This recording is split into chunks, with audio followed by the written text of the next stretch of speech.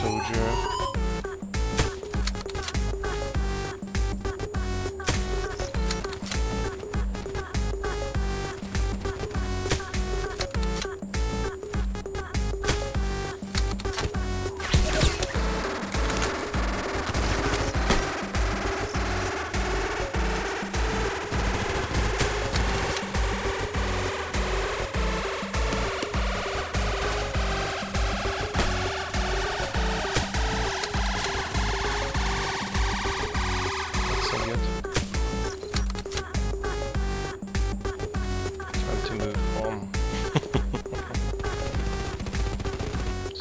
Quite interesting corner where I was standing.